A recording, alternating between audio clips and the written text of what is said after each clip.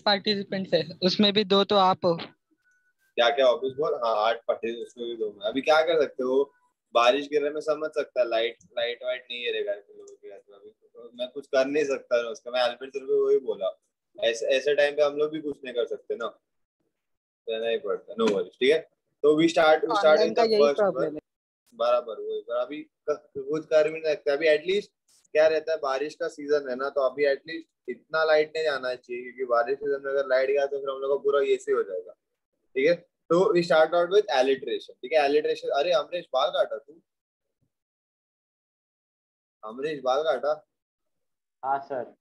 हाँ। तो ऐसे ही ऐसे ही कि मतलब मम्मी ने चलाया शटर डाउन मैं कह रहा था कल बाहर अच्छा। खुला है उधर? कल्याण में सब खुला है क्या अभी? नहीं हाँ। शटर डाउन नहीं नहीं खुला है। खुला है नहीं नहीं वो लो वो लो है खोल गया ठीक है? तो अभी हम लोग स्टार्ट करते हैं एलिट्रेशन से ठीक है? ना व्हाट इज़ एलिट्रेशन ठीक है?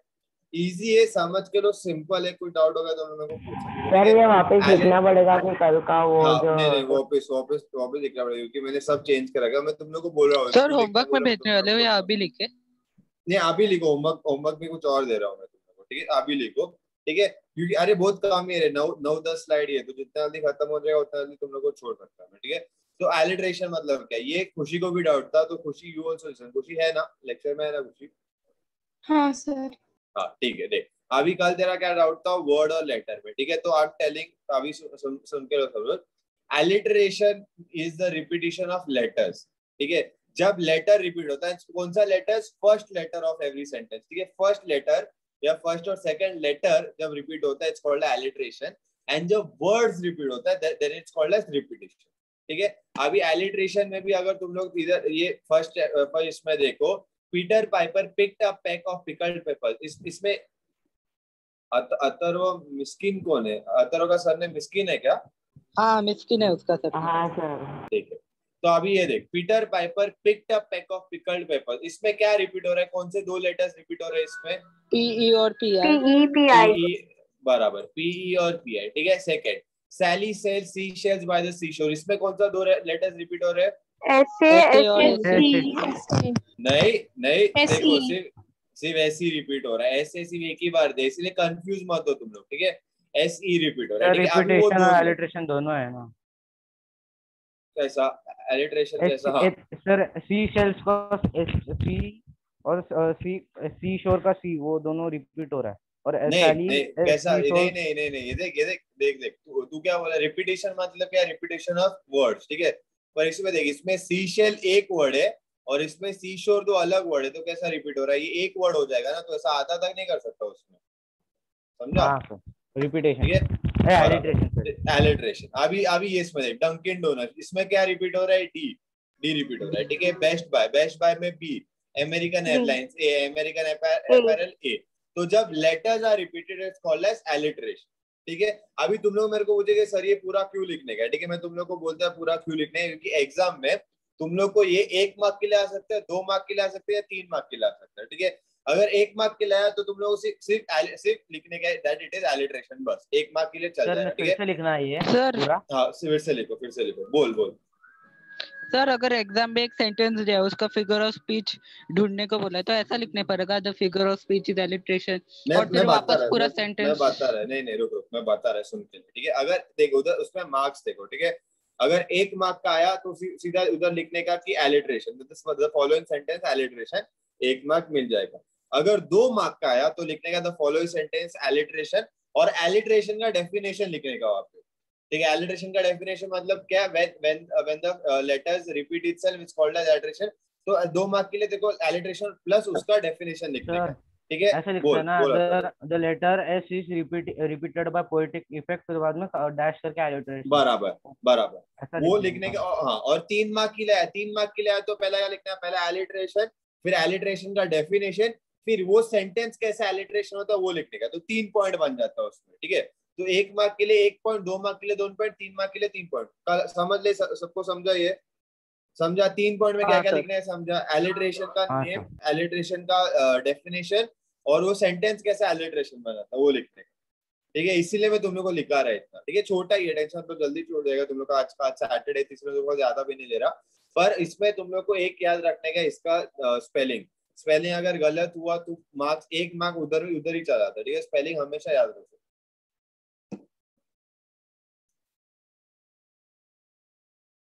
सर आपका इंग्लिश का टेस्ट कब है? या सैटरडे को। मैं अल्फ्रेड से बात किया कल तो अल्फ्रेड सर ने बोला जो भी टेस्ट रहेगा अभी सब टेस्ट सिर्फ़ सैटरडे को रहेगा क्योंकि मंडे से बैचेस चेंज हो रहा है। नाइन्थ का दो बैचेस आ रहा है तो वो टाइमिंग शायद से तुम लोग का नहीं उन लोग का ही चेंज होगा तो उसके लिए जो भी टेस्ट है क्योंकि नए क्या हो रहे हैं नए स्टूडेंट्स ज्वाइन हो रहे हैं ना? तो अभी नए स्टूडेंट्स को अगर मैं सिखा रहा तो हफ़्ते के बीच में बहुत इशू होता है वो लोग को टेस्ट देने को। तो मैं हफ़्ते के एंड में टेस्ट लेगा सैटरडे को और फ्राइडे को जो भी टेस्ट रहेगा उसका रिविजन होगा सर मतलब मंडे को टेस्ट नहीं है? नहीं मंडे को टेस्ट नहीं अभी जो भी टेस्ट सब सैटरडे को सर आप क्या बोले फिर से रिपीट करो ना। एलिट्रेशन में एलिट्रेशन का बात करें ना गायत्री की मैं अभी जो बोला। आपने अभी टेस्ट के बारे में बोला वो टेस्ट हाँ ठीक है। टेस्ट जो भी रहेगा वो मंडे को नहीं अभी जो भी टेस्ट रहेगा आगे आगे जो भी हम लोग टेस्ट लेंगे हर test will be on a Saturday ठीक है? जो भी टेस्ट रहेगा सब टेस्ट हम लोग सैटरडे को रहेंगे। क्यों तुम लोग पूछेंगे? क्योंकि अभी क्या हो रहा है बैचेस चेंज हो रहा है नए बच्चे आ रहे हैं ठीक है? अभी अगर नए बच्चे ऐड हो रहे तो वीक वीक डेज़ पे लेके तो फ़ायदा नहीं। और क्या रहता है सैटरडे को वीकेंड रहता है। सैटरडे को किसका? ज़्यादा मन नहीं रहता पढ़ने का तो इसलिए एग्ज़ाम देके तुम लोग फ्री हो सकते हैं। अगर मैं वीकेंड वीक के बीच में लिया तो क्या होगा वो लिंक ब्रेक हो जाता है मेरा सिखाने का तो हम लोग सैटरडे को टेस्ट रखे ठीक है? फ़र्स्ट ये लिख दिया सब लोग ने हैज़ एवरीवन रिटन अल्टरेशन हाँ sir yes sir so alteration के बाद I will go ahead next is personification what is meaning of personification personification is giving a human ability और a human feature to a non living thing और to an animal ठीक है? For example the lightning dance across the sky अभी can light lightning अपना dance India dance में आके audition दिया क्या? तो जाके नाच सकता है क्या? नहीं. Okay lighting obviously it's it's not possible lighting dance पर कौन नाच सकता है हम लोग? Human beings can dance okay so lightning dance across the इसमें इसमें पर्सोनिफिकेशन लिख कौन सा कौन सा वर्ड अंडरलाइन करेंगे हम लोग? Dance. Because dancing is a human attribute okay second. The dancing the word is a human quality. बराबर. The the wind howled in the night howled मतलब चिल्लाना ठीक है अभी obviously wind अगर howl करेगा रात में हम लोग सब डर जाएँगे बोलेंगे भूत है ठीक है obviously wind आवाज़ नहीं कर सकते पर कौन आवाज़ कर सकता है human beings तो the human howled is the human quality given given to the wind that is why it's called as personification ठीक है एक और एग्जांपल मैं अगर तुम लोग को दिया the dog was singing better than the singer ठीक है अभी अगर कुत्ता गा सकता है क्या वो इंडियन आइडल में आके गा रहा है क्या अनु मलिक उसको बोल रहा है क्या मुंबई जाएगा नहीं ठीक है? तो तो the human attribute of singing जो रहता है वो एक डॉग को दिया है। तो वैसा जब when human attributes are given to a non living thing और और टू और to an animal it's called as personification ठीक है? मतलब इसका अगर थ्री मार्क के लिए रहेगा तो हाँ, तो कैसा लिखेगा? पर्सोनिफिकेशन उसका उसका पर्सोनिफिकेशन का डेफिनेशन और फिर वो वो सेंटेंस कैसा पर्सोनिफिकेशन में आता है? अगर तू फ़र्स्ट सेंटेंस ले रहा है ठीक है? तो पहला पॉइंट क्या आएगा? पहला पॉइंट तो लिखेगा पर्सोनिफिकेशन नेक्स्ट पर्सोनिफिकेशन का डेफिनेशन लिखेगा और लिखेगा तो थर्ड पॉइंट लिखेगा in the sentence the word dance is the human quality given given to the lighting thus it is known as personification तो तीन पॉइंट हो गया तेरा तीन मार्क का। समझा? हाँ सर। मोस्टली एक एक मार्क का ही आता है। नहीं नहीं डिपेंड करता है। कोई कभी कभी दो, दो मार्क्स का देखा है मैंने। नहीं तीन मार्क के लिए भी आता है। वो तुम लोग का या तो बोर्ड में बोर्ड में दो मार्क के लिए आ सकता है पर अगर बोर्ड में दो मार्क के लिए भी आए तो भी तीनों पॉइंट लिख दो। ठीक है? बोर्ड में बोर्ड देख बोर्ड में जब तुम एग्ज़ाम लिखता है ना सोच ये सोच के जाओ क्योंकि तुम लोग एक बार लिखने का ज़िंदगी में ऑफ़िस कभी टेंथ का एग्ज़ाम नहीं दिखा जितना आता है ठोक के आओ। एक मतलब कोई आंसर छोड़ो भी मत उधर ऐसा होगा सर मतलब आधा रॉन्ग रहेगा तो आधा मार्क नहीं नहीं नहीं, आधा नहीं डिपेंड करता है। देख डिपेंड करता हो भी। अगर तेरा स्पेलिंग मिस्टेक गलत रहेगा तो रॉन्ग रहेगा ठीक है?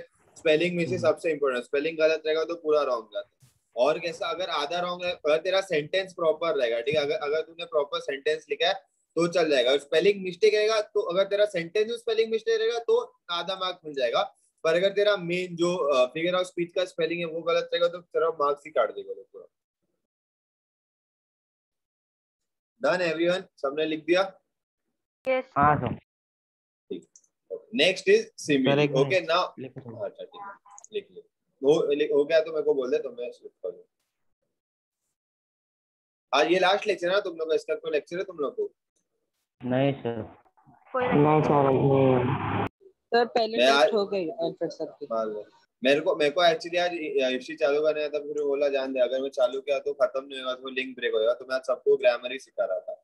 तो तुम लोग का ये ये आधा वैसे भी कल हो गया था तो आज जैसे जितना हुआ जैसे खत्म हो जाएगा तुम लोग होमवर्क देके मैं छोड़ दूँगा। तुम लोग को एक अर्ली वीकेंड टाइप मिल जाएगा। हो गया लिख के ये सबका? बोल बोल। पर मैंने नाइन का ग्रामर बुक देखा उसमें पूरा ट्वेंटी फिगर्स ऑफ़ स्पीच था। बराबर बराबर। मैं को वो लोग ने पूछा बट ट्वेंटी फिगर स्पीच में तुम लोग को इस साल तुम लोग को सिर्फ़ आठ आठ या नौ दिए इसीलिए मैंने वो ही दिया पर अगर टेक्स्ट बुक में जब अपन अगर जैसे आगे जितना टेक्स्ट बुक रीड करेगा टेक्स्ट बुक में और और ज़्यादा आया तो तभी हम लोग, मैं तभी तुम लोग को सिखा देगा। पर बेसिकली अगर मैं बोर्ड के हिसाब से आता है ना बोर्ड में वो लोग बेसिकली वो लोग basic ten figure of speech देते हैं। वो ये ये जो हम लोग कर रहे हैं वैसा। ठीक है? ट्वेंटी कर रहे हो, कुछ नहीं, पर वो कैसा यूजफुल नहीं रहता अपने को। एक बार क्योंकि देख टेंथ टेंथ में जो देते हैं, वो लोग सबसे बेसिक ही क्वेश्चन देते हैं। बेसिक मतलब टेंथ में तेरा या तो आइलिट्रेशन आएगा या तो रेपिटेशन या तो सिमिली मेटाफर उसके आगे छोड़ के मेरे को मुश्किल से लग रहा है ऐसा कुछ आता है। पर अगर अगर टेक्स्ट बुक में आया तो मैं तुम लोग को तभी सिखा देगा ठीक है? हो गया सबका लिख के? नेक्स्ट इज़ सिमिली ठीक है? नाउ सिमिली और मेटाफर में बहुत बच्चे लोग कंफ्यूज होते हैं इसलिए समझ करो ठीक है? Simile is a comparison between two things ठीक है? सिमिली वो इनडायरेक्ट डायरेक्ट छोड़ दो ठीक है? Similarly simile simile is a direct comparison between two things जैसे कि कंपेयर कर रहे ठीक है? You were as brave as the lion अभी इसमें ना इसमें देख इसमें दो चीज़ याद रखो। अगर कोई भी सेंटेंस में एज है हाँ हाँ सर्व बोल। सर इनडायरेक्ट कंपैरिजन रहेगा ना? नहीं इनडायरेक्ट ये होता है ना रुको एक सेकंड सर एज और लाइक देख a metaphors comparison is more indirect समझा? डायरेक्ट कंपैरिजन तेरे को समझाता है। मैं मैं इसलिए बोल रहा है ना इनडायरेक्ट और डायरेक्ट मन में मत ले तू कंफ्यूज हो जाएगा। मैं तेरे को बता रहा है वो समझ ठीक है? देख जब ये दो वर्ड्स आया एज और लाइक जब ये दो वर्ड सेंटेंस में आया मतलब सिमिली समझ जाने का ठीक है? आगे क्वेश्चन ही नहीं करने अभी सिमिली में वो लोग डायरेक्ट कंपेयर कर रहे हैं ठीक है? You are as brave as the lion तेरे ब्रेवरी को एक लायन से कंपेयर कर रहे they fought like cats and उनके झगड़े को उन, उनके झगड़े को कुत्ते और बिल्ली से कंपेयर कर रहे directly he is as funny as a barrel of monkey उसके उसके फनी को एक एक मतलब बंदर बंदर से कंपेयर कर रहे हैं। तो वो लोग सीधा कंपेयर कर रहे हैं दूसरे को।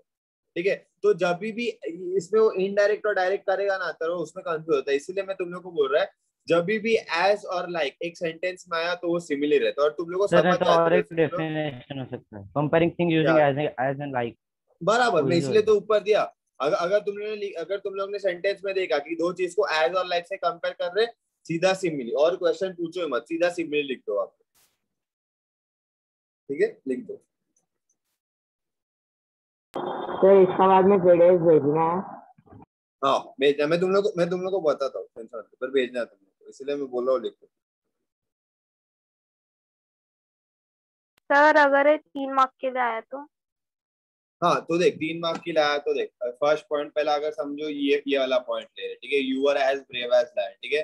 तो फ़र्स्ट पॉइंट हम लोग लिखेंगे इट इज़ सिमिली ठीक है? सिमिली ये फ़र्स्ट पॉइंट हो ठीक है? सेकेंड पॉइंट हम लोग सिमिली का डेफिनेशन लिखेंगे in a figure of speech where is comparison between two object using the word as and like is called as simile तो ये सेकेंड पॉइंट ठीक है?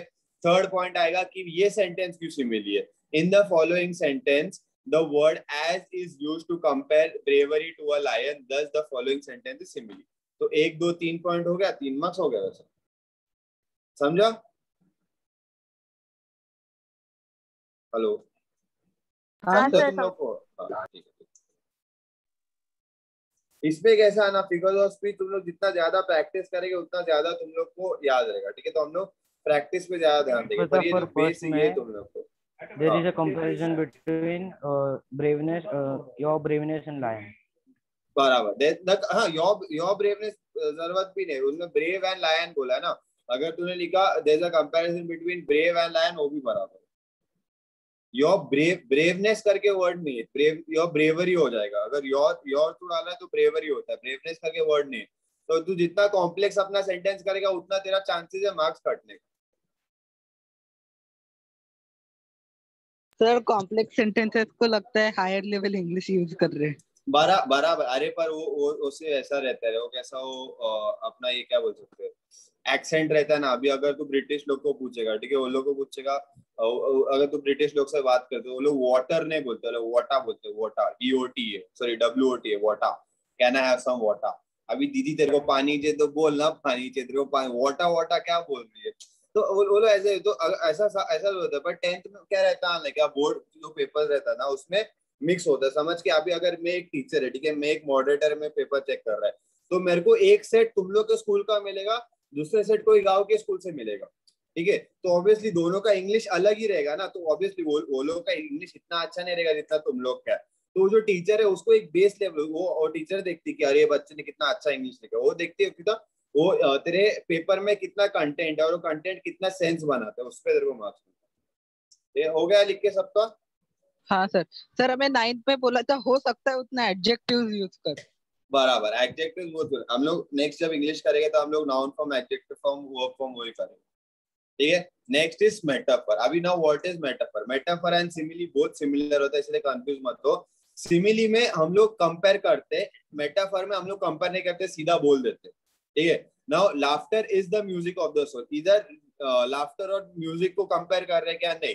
सीधा बोल रहे हैं कि laughter only is the music of the soul America is a melting pot. उस अमेरिका को मेल्टिंग पॉट से कंपेयर कर रहे क्या नहीं, सीधा बोल रहे कि America is a melting pot. अगर मेरे को इसको सिमिली में बनाने का था तो मैं क्या डालता, America is like a melting pot.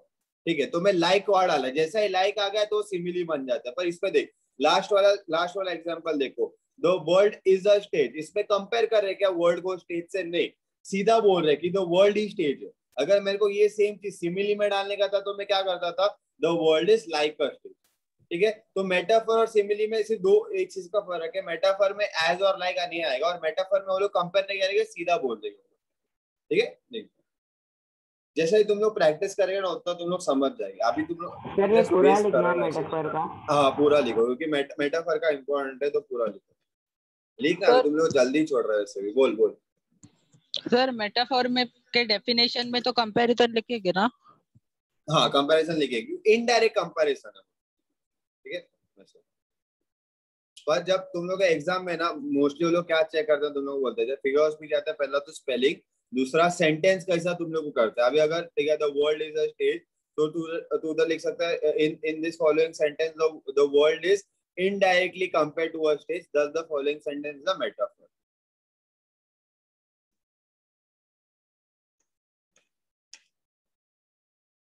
अब ये लेक्चर का कौन कौन सोने वाला है? मस्त बारिश गिर रहा है चाय चाय पकड़ो। मैं पहले सो मैं गया। मैं सुनो मैं पहले सोएगा आप भी सब सो गए क्या मेरे को दिखा नहीं है आधे लोग।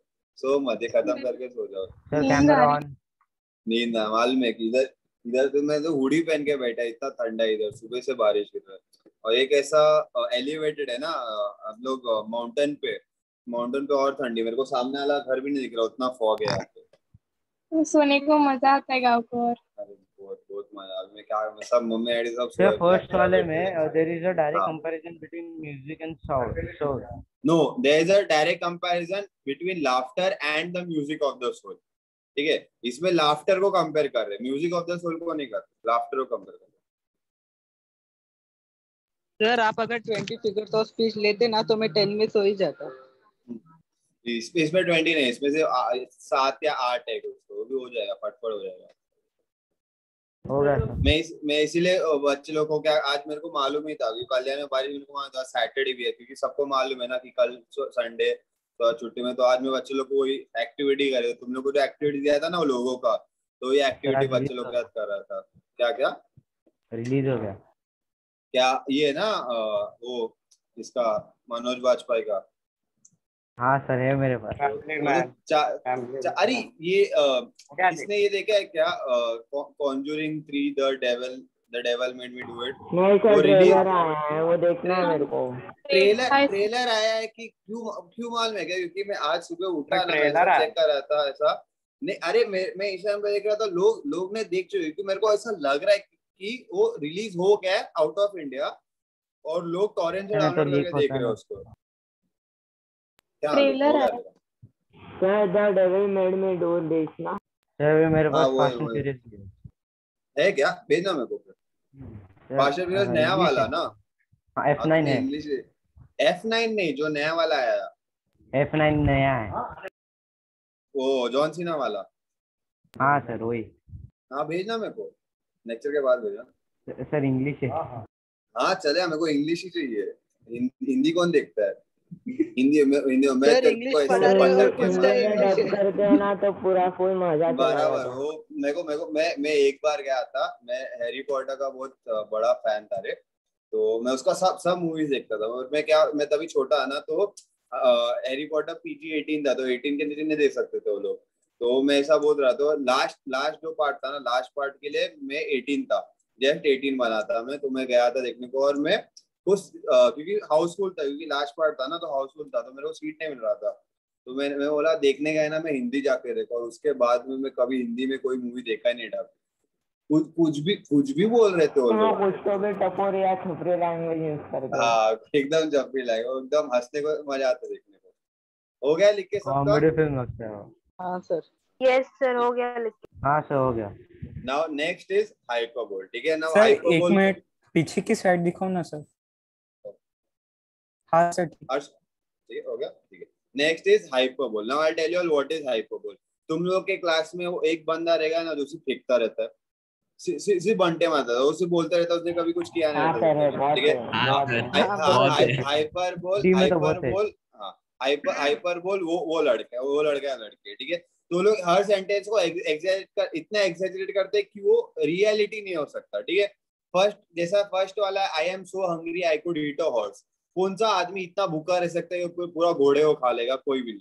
ठीक है? ये हम लोग मान भी नहीं सकते। Next is there is enough food in the cupboard to feed an entire army तेरे घर में इतना सा इतना खाना तू डाल सकता है कि पूरे आर्मी को खिलाएगा। आर्मी बैठे बैठेगा ही किधर? आर्मी वॉर छोड़ के तेरे घर पे आया खाना खाने को? नहीं।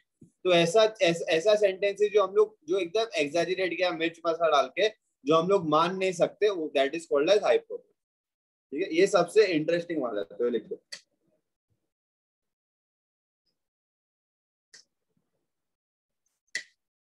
सर, इसका एक और पार्ट रहता है ना कि वो वो स्टेटमेंट जो बहुत ये रहेगा सैड रहेगा, उसको कमी करके बताना बराबर बराबर बराबर वो वो आगे आता है, उसमें आता है एंटी क्लाइमैक्स लाइन में सिनेडॉक पर वो, मेरे को मेरे को ऐसा रेलेवेंट नहीं लगा, क्योंकि वो कैसा रहता है, वो एडवांस लेवल रहता है, ठीक है?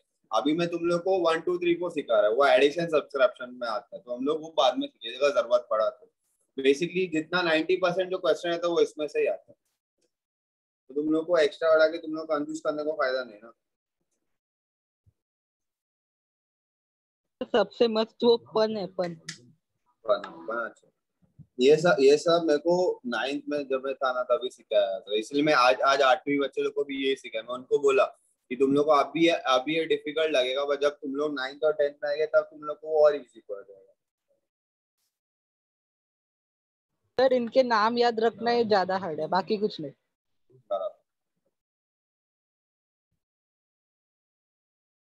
सर रीजन सीधा देर इज़ एग्जैजरेटेड स्टेटमेंट या इसमें हाइपरबोल में सिर्फ़ अगर तुम लोग ने इतना भी लिखा द फॉलोइंग सेंटेंस एग्जैजरेटेड हो गया मार्क्स मिल जाता। है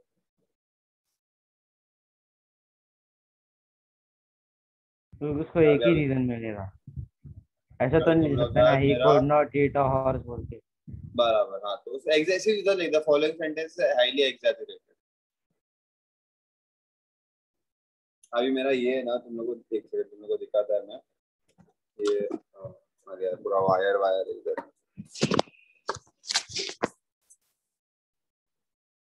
ये तुम लोग को दिख रहा है ये खिड़की दिख रहा है तुम लोग को मेरा। तो ये हाँ, ना हाँ। एक हाँ, ये ये ये गेट है रे। तो ये खिड़की गेट में ऐसा खोल खोल के बाहर जाके उधर बैठ सकता है उधर। तो उधर मेरे को ऐसा चाय वाय पीने के लिए बैठने के लिए मज़ा आता है। वो मैं क्या और मैं ना एक बार बैठा था वहाँ पे और पीछे से मम्मी आके देख रहे थे को बहुत चिल्लाई। तो उसके बाद से वो लॉक करके चाबी लेके गई मम्मी तो मैं ऐसा इधर ही बैठा था। ना मैं पूरा बाहर को पैर डाल के बैठ जाता था बाहर। सर पर उधर बैठ क्यों नहीं सकते? अरे बैठने लगता मतलब अभी ऐसा ऑब्वियसली मम्मी लोग तो चिल्लाएँगे ना मैं ऐसा ऐसा बैठा अभी कुछ नहीं नीचे। वो ऐसा पुराने घर पे रहता है ना ऐसा क्या बोलते हो उसको?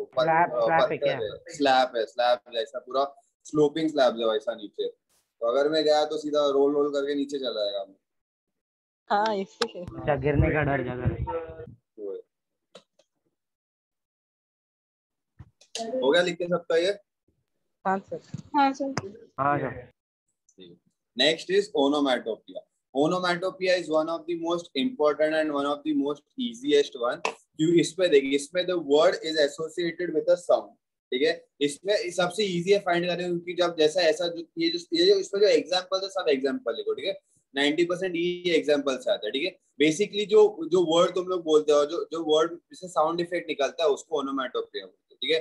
For example cuckoo. अभी जब मैं कुक्कू बोल, जो कुक्कू बर्ड है, वो भी आवाज़ में क्या निकालता है? कुक्कू निकलता है, ठीक है? बैंग बैंग का भी आवाज़, जो साउंड रहता है बैंग ही रहता है. बूम बूम का भी जो साउंड साउंड इफ़ेक्ट रहता है boom so any word associated with sound effect is called as onomatopoeia लिख सकते हो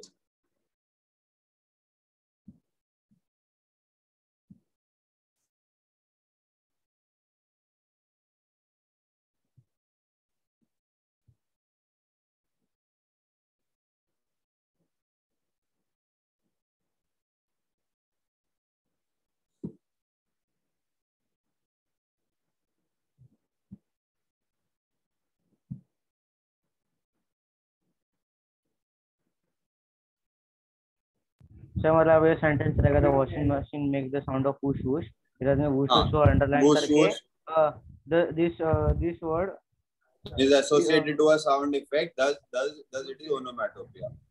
मतलब या फिर ऐसा this sound created and sound effect हाँ बराबर।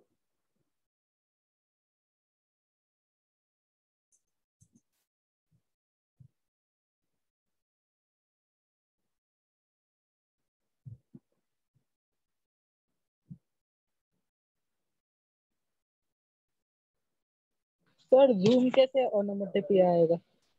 जूम जूम देखना जूम जूम आवाज़ आ रहा है ना तो साउंड इफ़ेक्ट नहीं आ रहेगा जूम जूम मैं बोला ना जूम जूम तो आवाज़ आता है। जूम मतलब हम लोग अभी इतना यूज़ हो गए जूम मतलब ऐसा वीडियो कॉलिंग का इसलिए हम लोग बोलते पर इससे पहले जो जूम हम लोग कह रहे थे धूम मचाले में आता है ना जूम जूम करके बाजू से आ रहा है वैसा। तो उसको स्पीड से वो लोग ये करते कंपेयर करते जब गाड़ी बाजू से एकदम स्पीड में जाता है। बराबर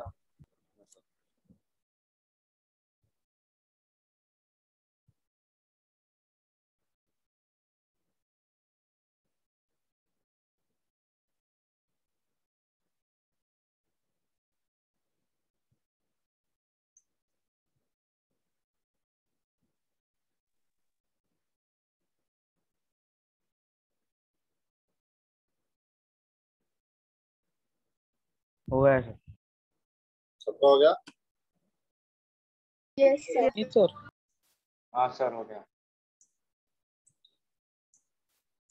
Next is repetition. Now, repetition is uh, as alliteration was the letters repeated. Repetition is when words are repeated. हो गया ना? सर तो हाँ सर अभी हुआ अभी हुआ When, okay. When words are repeated, it's called as repetition. For example, first वाला let it snow let it snow let it snow इसमें कौन सा वर्ड रिपीट हो रहा है? Let it's no hour to hour तो कौन सा वर्ड रिपीट हो रहा है? Hour sorry not sorry sorry repeat हो रहा है। तो when words are repeated it's called as repetition when letters are repeated it's called as alliteration सिर्फ़ उतना याद रखो इसमें। कंफ्यूज मत इसमें बहुत लोग कंफ्यूज होते हैं।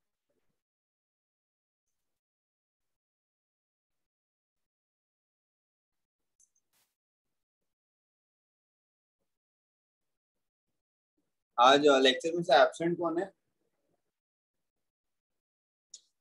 प्रणव एक एब्सेंट है। और? सो प्रणव एक एब्सेंट है सर सिर्फ़ प्रणव एबसेंट है। सर फोर्टीन पार्टिसिपेंट्स रहते हैं हाँ फोर्टीन रहते हैं और नहीं रहते। मैं रोज देख रहा थर्टीन नाम दिख रहा था। अभी ये थर्टीन कैसा हो गया? कोई एक लीव किया शायद से। सर थर्टीन ही है। हाँ, 13 रोज रोज प्रणव फोर्टीन पर वो प्रणव बहुत दिन से एबसेंट ही हो। बाहर घूमने गया होते तो उसको बाद में बहुत इशू होने है।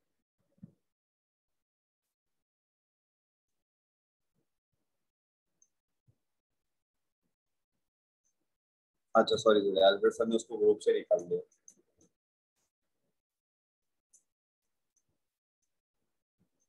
जो होमवर्क करेगा ना।